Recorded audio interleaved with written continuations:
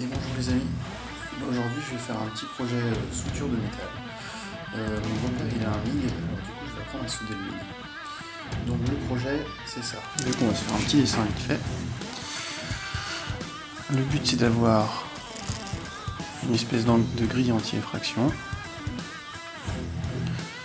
Euh, ça du coup c'est la taille de la fenêtre. Donc là on a 78,5 cm et là on a 40,5 cm. Les diagonales sont identiques, donc on est bien sur un rectangle. Et donc ça veut dire que euh, les deux montants font bien la même taille et les deux, les deux traverses font aussi la même taille. Donc euh, je vais partir ici sur du 30 par 6 en fer plat. Je vais laisser euh, peut-être 1 cm ou 2 cm en haut en bas. À peu près ici, j'ai une cornière qui fait 25 par 4. Du coup, ça donne un truc comme ça. C'est pas tout à fait au bonne cote, mais au principe quoi.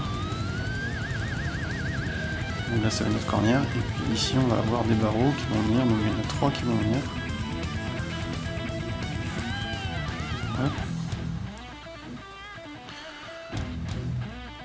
Tac.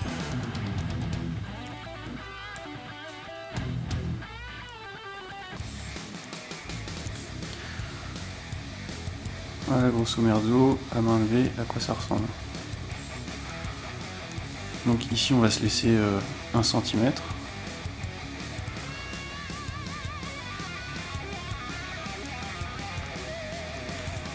Ici comme ça va être au niveau du, sol, on va. Enfin du seuil. On va bien se laisser 3 cm. 2, 2 cm, allez 2 cm. Donc ce qui fait qu'il nous faut ici, ça du coup c'est en par 6. Euh, ça et ça, c'est du 25 par 4. Et ces trois là, c'est du fer euh, carré de 10 mm torsadé. Donc grosso merdo, ce qu'on va faire, c'est que ici on va percer les trous, casser les fers, euh, les fers carrés torsadés. Donc ça va être du 14 je pense. À peu près, je pense, un truc comme ça. Et ici, comme c'est de la.